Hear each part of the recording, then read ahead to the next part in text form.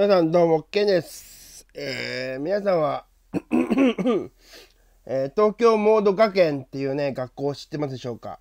ファッションだったりね、えーいろんなところが学べる学校なんですけど、そこのね、えー1982年のね、えー CM が、えーちょっとね、怖いということでね、えー紹介したいと思います。新宿センタービルのね、43階、えー、周期生募集ということでね、えーなんか、あ雰囲気がアフリカみたいな雰囲気のね、えー音が、えー流れます。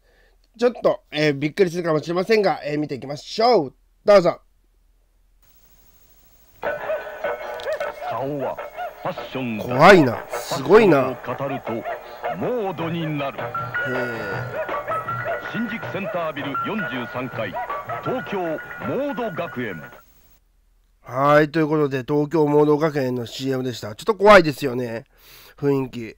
ああの東京モード学園ね、あの知り合いが、えーなんか、行ってるっていうね、行ってたっていう、あの、格好なんですけど、なんか今も出たように、いろんなことが学ばれる、学べるみたいですね。